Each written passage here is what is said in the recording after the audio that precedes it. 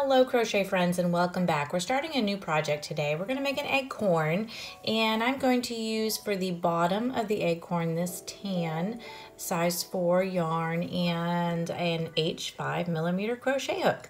So we're going to get ourselves started with rounds 1 through 3 today and we're going to chain 2. So we want to make a loop, drop our working tail behind, go inside the loop, grab our working tail and pull it up on the shank okay?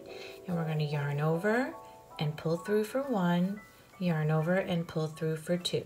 All right, so round one says we're gonna do five single crochets in the second chain from our hook. Very easy. This is where our hook is. We've only made two chains, so this is our second one right here.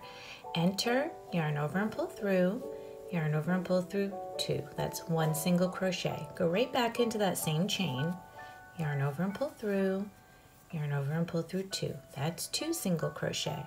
Enter again, yarn over and pull through, yarn over and pull through two. That's three. This is four and five. All single crochets, okay? Very good. All right, now for round two, we want to do two single crochets in each stitch around. So we did one, two, three, four, five. So we know this is our first stitch right here. And it's the first one, so sometimes it lays a little funny. We always talk about that. Sometimes the first and the last can be a little different. So just make sure you get your whole stitch. So enter your stitch and we're gonna give this two single crochets. So here's one single crochet, go right back in, two single crochets all single crochets for this. That's two. There's our next one. This is three and four. How are we doing? Okay with these single crochets? This is five and six. Not bad, right?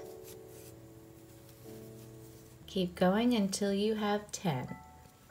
Okay, that's 10 for me. I have 10 stitches on my work. I did two in each stitch around. I'm going to grab a little bit of contrasting color here just so I know the beginning of my round. Now that I have a few stitches on here, just helps you out a little bit, right? So round three says we're going to single crochet in this first stitch. The second stitch is going to get two single crochets and we're going to repeat that around. So we'll have a little bit of an increase. So this is one single crochet and go into your next stitch.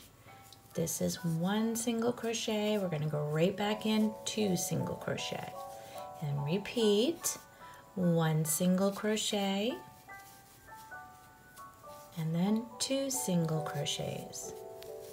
One and two. Go into the next one, one single crochet. Not hard, just gotta keep track, right? And two single crochets. One and two.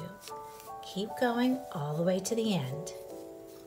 Okay, this is my last one. Here I am. That's two and I'm gonna pull my marker out and I'm gonna move it up. That's the end of round three. We now have 15 stitches on our work. So we'll meet up next time to start with round four. We'll see you then. Thank you and have a joyful day.